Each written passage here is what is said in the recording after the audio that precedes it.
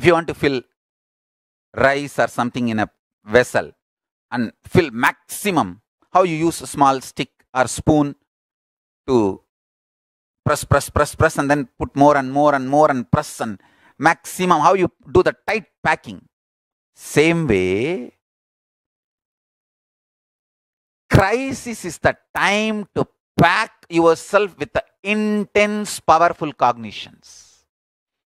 Every time when the crisis comes, it's like a tick, tick, tick, tick, with that spoon.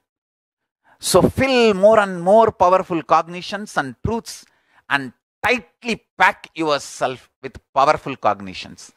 Crisis comes only to train us. All crisis comes only to train us.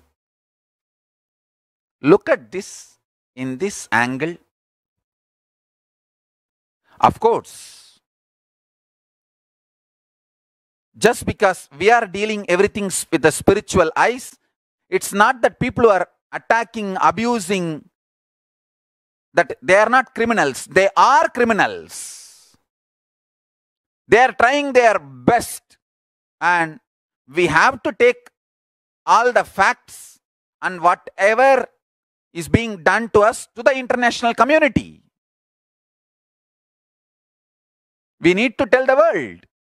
That is different. First, you need to understand inside how to deal with the whole thing. How to see life.